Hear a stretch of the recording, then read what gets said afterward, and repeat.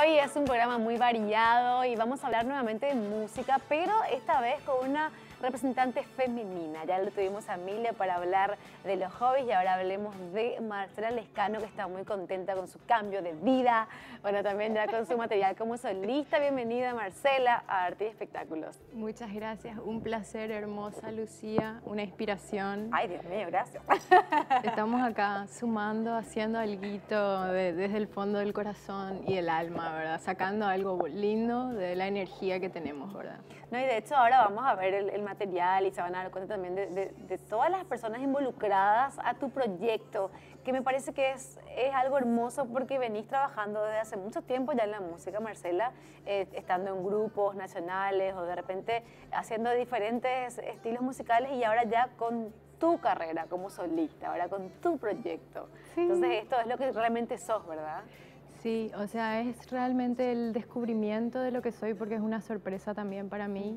Es como ir develando lo que guarda mi subconsciente, también mi memoria genética, ancestral, de todo el arte que hubo atrapado en el corazón de mis abuelos, de mis, de mis padres y quién, qué sé yo, ¿verdad? ¿De dónde vendrá? Tatara, pero... tatarabuelo, bisabuelo.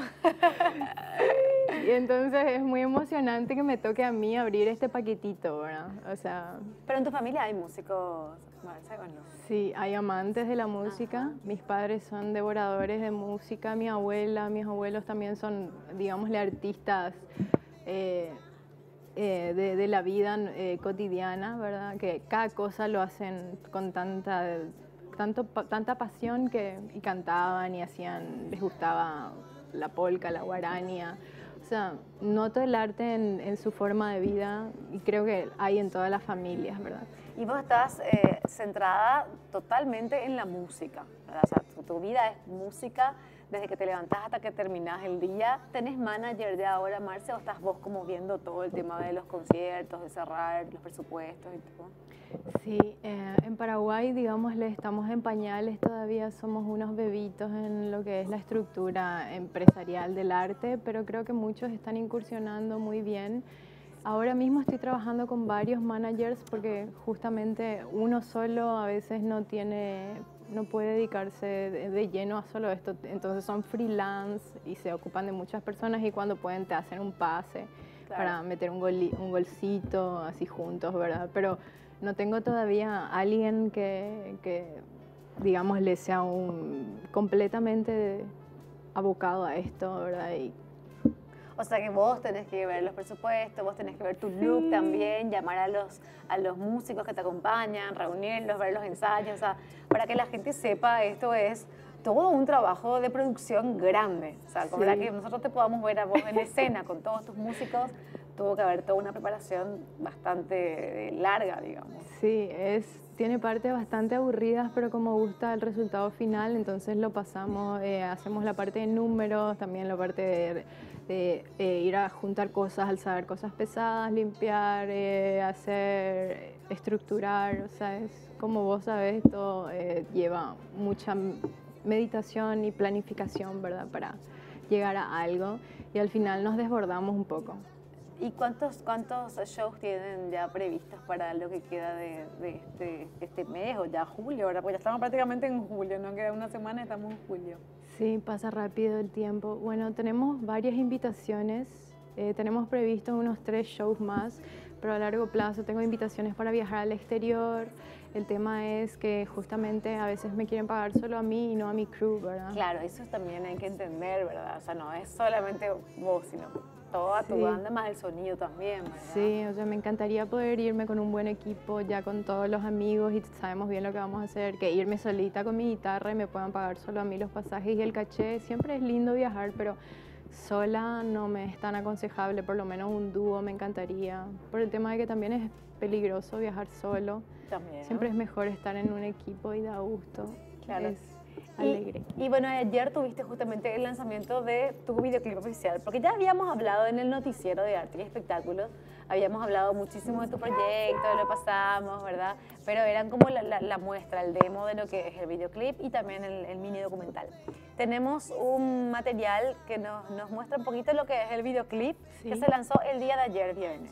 Sí, exactamente. Ayer a las 7 de la tarde estábamos todos prendidos tomando una cervecita rica con amigos y lo tiramos al mundo, un soldadito precioso más que vaya a conquistar corazones alrededor del planeta. Muy bien, que vaya a batallar entonces. Y lo vemos ahora y después conversamos también de lo que fue la grabación del videoclip. ¿Te parece bien? Me encanta. Ahí está. Entonces, cambio de vida de Marcela, tenemos ahí un material, el videoclip, el nuevo videoclip de Marcela Descarga.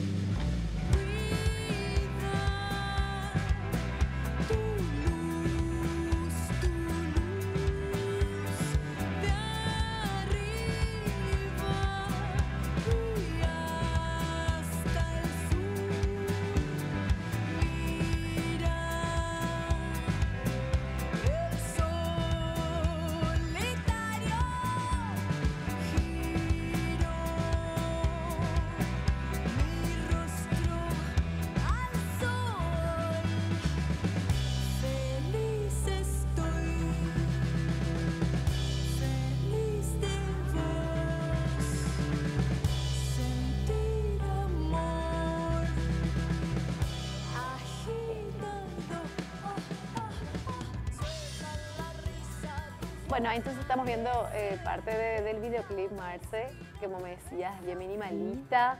Eh, ¿Dónde lo grabaron y cuándo lo grabaron? Lo grabamos en el Juan de Salazar y también en una casa frente al lago en Ipacaraí que tenía un montón de paisajes alucinantes. Hermoso realmente.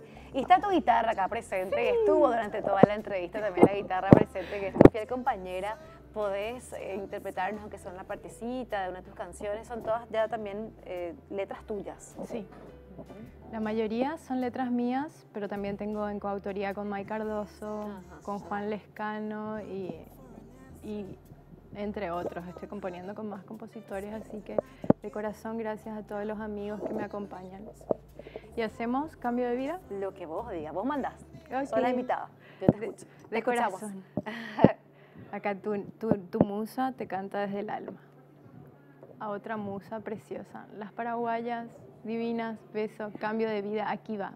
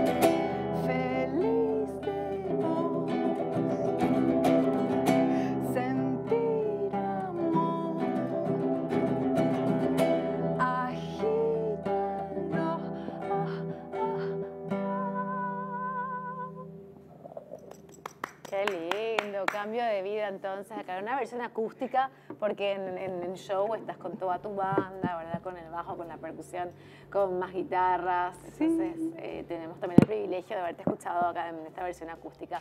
Marce, realmente un gustazo. Ojalá que, te tengamos más de seguido acá en este, en este sillón, ¿verdad? Gracias, un placer tomarme un cafecito contigo ¿verdad? siempre. hablando de café, justamente tenemos eso para vos. ¿Solo tomar café, Marce? Sí. Bueno, te vas a tomar un café en una taza acordándote de nosotros acá, de Fel y de todo el equipo de Arte y Espectáculos. Gracias también a Tazas de Compañía. Sigan a la cuenta porque tiene unas tazas impresionantes. Ahí le puedes poner cambio de vida o pedirle que te haga uno con tu nombre. o con el nombre de los chicos también. Me Disfruta entonces ahora de tus cafés. Hermoso con nosotros. Los colores. Los colores Disfrutaré. También. ¿Qué significa? Mira, cada color tiene un significado y vos solamente sabes un poquito también de todo eso, ¿verdad? Gracias. Gracias, Marce. Que está conectado a todos los chakras también. Los colores. Los colores. Un día hablemos de eso, de los chakras, de dónde están todos los chakras, la sanación, que también es muy importante y tiene que ver con el arte también. Sí. Éxito, Marce, ¿sí? Con esto y con todo lo que venís haciendo. Amén. Estamos ahí estirando con todo y el aliento que nos dan ustedes definitivamente fortalece, es vitamina para el alma. Gracias. Gracias a vos. Bueno, ustedes saben que Radio Disney nos lleva a un concierto fantástico. Bueno, Radio Disney que siempre nos acerca a los mejores artistas. Bueno, esta vez nos acerca a tus artistas favoritos. Por ejemplo, vas a poder mirar a los ojos a Rake, a Malú y a Hash también. Esta radio, Radio Disney, tu radio, te lleva a Buenos Aires para que puedas vivir la primera fila del Festival Cómplices. Seguí escuchando la radio y entérate de cómo participar, cómo estar ahí en la primera fila de este Festival Cómplices. Radio Disney, escucha eso que querés sentir. Una radio hermosa, me tocó también trabajar ahí, así que sé lo lindo que es trabajar en Radio Disney y disfrutar también de su música y de su programación. Y hablemos de cine porque tengo para ustedes este afiche enorme de la momia. ¿Qué tal vos con el cine, Marcia? ¿Te suele ir al cine? Sí, me encanta. Por lo general cuando me invitan. Te vamos a invitar entonces. En esta oportunidad tenemos el afiche de la momia. ¿La está viendo? Lo puse al revés. A ver, a ver, a ver. Ah, acá vamos a ponerlo. Ahí está. Claro, para mí estaba bien, pero para ustedes estaba al revés. Ahí lo ven.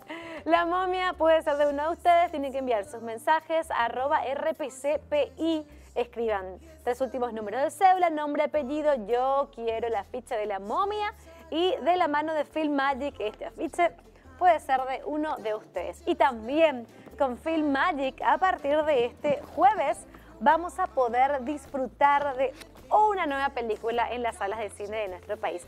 Mi villano favorito 3, sí, vamos a poder verlo a Gru con Drew, o sea, Gru que va a conocer a su hermano y seguramente también a los Minions y toda esa historia que nos va a hacer reír un montón. Y así nos vamos a la pausa con mi villano favorito 3. ¡Wow!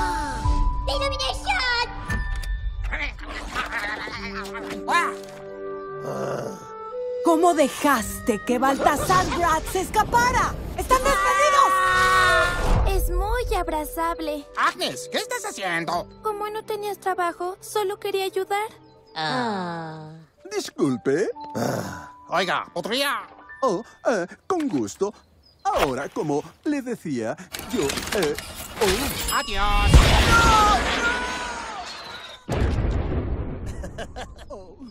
¿Es en serio? Oh, en verdad debo hablar con usted en nombre de su hermano gemelo, ¿Qué? ¿Un gemelo? ¿Gemelo? ¿Chimuelo?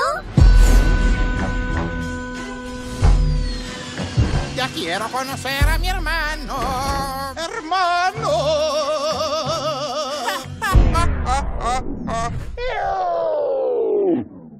Yo.